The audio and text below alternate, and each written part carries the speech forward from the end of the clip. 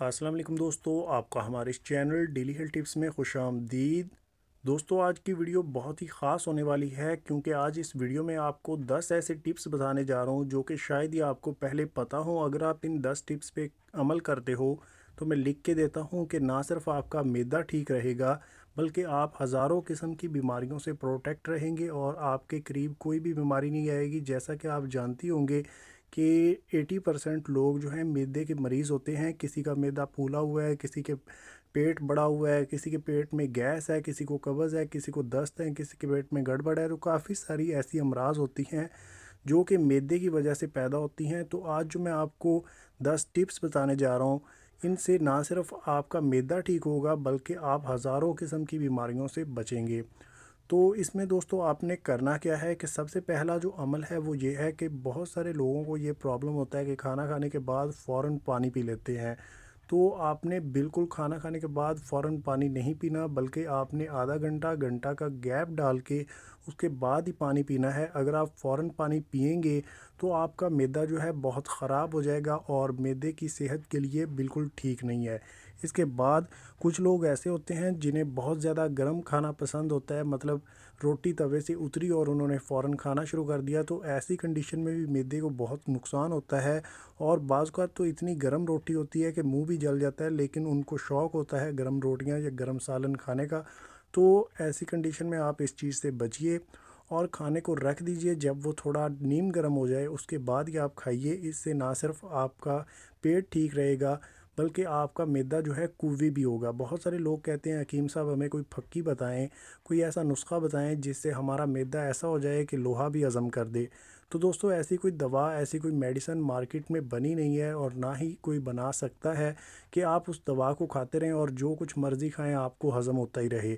अगर आप खाने की रूटीन ठीक कर लेंगे तो आपका मैदा बिल्कुल ठीक हो जाएगा और आप हर चीज़ जो है हज़म कर पाएँगे। तो खाना खाने के बाद आपने फ़ौर सोना नहीं है। कुछ लोगों को आदत होती है कि खाना खाया और उसके बाद लेट गए, सो गए। तो आपने बिल्कुल ऐसा नहीं करना। खाना खाने के बाद आधा घंटा, एक घंटा आपने चहलकदमी करनी है तो उसके बाद ही आपने सोना है। ये आपके मैदे के लिए बहुत ठीक है।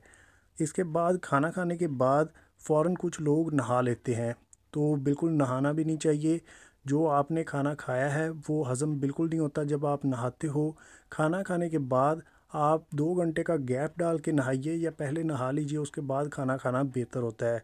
बाज़ कंडीशनों में ऐसा होता है कि एक टाइम आपको बाथरूम भी आया और आपको भूख भी लगी है तो आप सोचते हो कि पहले खाना खा लें, उसके बाद हम वाशरूम से हो आएँगे। तो ऐसा करना बिल्कुल गलत होता है। आप पहले वाशरूम जाइए और फ्रेश हो उसके बाद आप खाना खाइए। ये सही तरीक़ाकार है। इसी तरह कुछ लोगों को आदत होती है कि एक ही बार में दबा कर खा लेना, पेट को फुल भर लेना, उसके बाद खाना मिले ना मिले तो ऐसा करना भी दोस्तों बहुत गलत होता है, अपने मैदे पे जुल्म होता है। तो आपको एक ही दफ़ा दबा के नहीं खाना चाहिए, बल्कि ये ज़रूरी नहीं है कि आप दिन में दो दफ़ा खाएँ, तीन दफ़ा ही खाएँ। आप बार बार खा सकते हैं थोड़ा थोड़ा करके खाइए, भूख रख के खाइए। जब आपको दोबारा भूख लगे, आप थोड़ा सा और खा लीजिए। इस तरह आप अगर करेंगे तो एक तो आपके मैदे को रेस्ट मिलेगी और दूसरा आपका मैदा जो है सही तरह से गज़ा को डाइजेस्ट कर पाएगा और आपको खुराक लगेगी भी। कुछ लोगों की शिकायत ये होती है कि हमें जो भी खुराक खा लें, हमें लगती ही नहीं है, हमें उसका असर नहीं होता, हमें उससे ताकत नहीं मिलती। तो उसका रीज़न यही होता है कि वो चीज़ें जो हैं दबा के खा लेते हैं और उनका मैदा बिना उन्हें हज़म किए, बिना वो खुराक आपके पेट में डाइजेस्ट हुए, आपकी अंथड़ियों में चली जाती है और ज़ाया हो जाती है। तो आपको उसका इसीलिए फ़ायदा नहीं होता और आप सोचते हैं कि शायद हमारा मैदा कमज़ोर हो गया है, उल्टा आप अपने मैदे को कमज़ोर कर रहे होते हैं। इसी तरह कुछ लोगों को तो बिल्कुल भी पता नहीं होता कि हमें किस वक्त कौन सी खुराक खानी चाहिए। तो इसमें दोस्तों क्या है कि अगर आप सुबह के वक्त उठते हो तो आपको हल्का फुल्का खाना खाना चाहिए, जूस वगैरह आप पी लीजिए, कोई फल वगैरह खा लीजिए जब दोपहर का वक्त आता है उस वक्त आप सख्त गज़ाएँ भी खा सकते हो कोई भी गज़ा खा सकते हो कि आपको वो आसानी से हज़म हो जाएगी लेकिन पेट भर के पे, पेट ठूस के आपने कभी भी नहीं खाना। और रात के वक्त आप जो है जोदो हज़म जो गज़ा होती है जो आसानी से हज़म हो जाए और थोड़ी बहुत खा के उसके बाद आप थोड़ी चहलकदमी करके सो जाइए तो इससे आपका मैदा जो है बिल्कुल परफेक्ट रहेगा। और एक चीज़ कि आपको बासी और जो बादी चीज़ें होती हैं, उनसे परहेज़ रखना होगा। ये आपकी सेहत के लिए नहीं, बल्कि आपकी उम्र के लिए भी ज़रूरी है। जो लोग बासी और बादी चीज़ों का इस्तेमाल करते हैं, उनको बहुत ही नुकसान होता है उनकी सेहत के लिए भी, और उनकी एज जो है वो भी कम हो जाती है। मतलब जो काया होती है, वो भी कम हो जाती है। बहुत ही जल्द उनको बुढ़ापा घेरता है। तो आप बासी और बादी चीज़ों से भी परहेज़ कीजिए। तो ऐसा करना आपके लिए बहुत ही ठीक रहेगा। इसके बाद इसी तरह आप खाना खाने में रद्द बदल करते रहिए, ये भी बहुत ज़रूरी है सेहत को मेंटेन रखने के लिए कि मतलब रद्द बदल का मकसद ये नहीं कि आप एक वक्त टिंडे खा लीजिए और अगली बार आपने भिंडी खानी है, ऐसा नहीं। बल्कि आप एक दफ़ा बहुत ही तीखी कोई चीज़ खा लेते हो, बहुत नमकीन चीज़ खाते हो तो उसका बदल जो उसकी मसला है, वो ये है कि आप उसके बाद कोई मीठी चीज़ भी खा लीजिए, जिससे आपका जो बैलेंस है वो बरकरार रहे।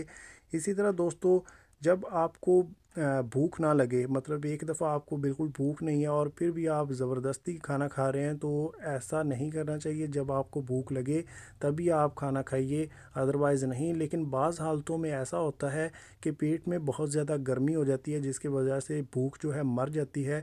तो ऐसा में आप कोई ठंडी चीज़ें खाइए, जिससे कि आपको भूख लगे और ऐसी चीज़ें खाइए। पुदीना वगैरह की चटनी बना के खा लीजिए, सलाद खा लीजिए, जूस वगैरह पी लीजिए, लस्सी वगैरह का इस्तेमाल कर लीजिए, जिससे आपके मैदे की गर्मी ख़त्म हो जाए और आपको भूख लगना स्टार्ट हो जाए।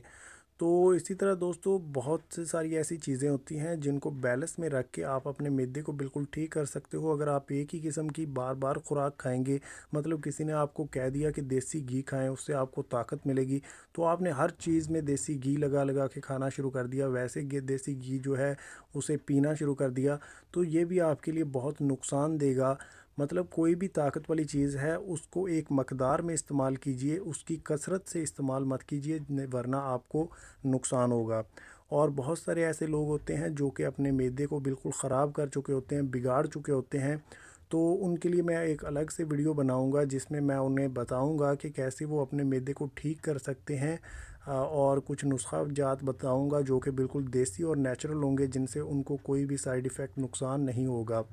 तो उम्मीद है दोस्तों, आपको हमारी ये वीडियो पसंद आई होगी। अगर आपको ये वीडियो पसंद आई तो इस वीडियो को लाइक भी कर दीजिए, शेयर भी कर दीजिए और मज़ीद अच्छी अच्छी वीडियोज़ के लिए अगर आप हमारे चैनल पर नए हैं तो हमारे चैनल को सब्सक्राइब भी कर लीजिए। मिलेंगे नेक्स्ट वीडियो में, तब तक के लिए अल्लाह हाफिज़।